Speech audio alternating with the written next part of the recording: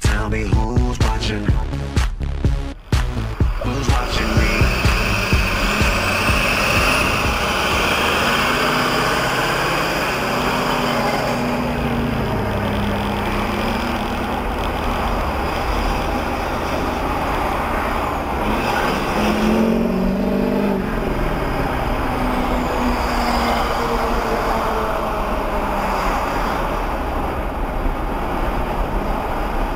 have multiple jobs to afford all these women. All the That's right. women, That's exactly. right. Okay. Well, this is one heck of a war of the roses, you guys. I don't know where we're at. Yeah, man, y'all. All right, and Yvette, uh, this is the Um, craziest ending of War of the Roses ever. Uh, good luck to you. I, I, it sounds like you're gonna stay with him.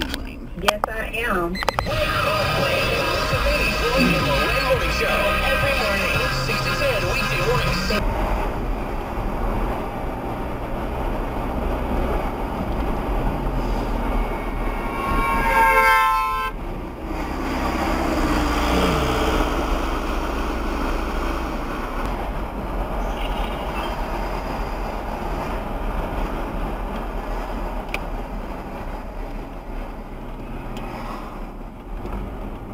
Um,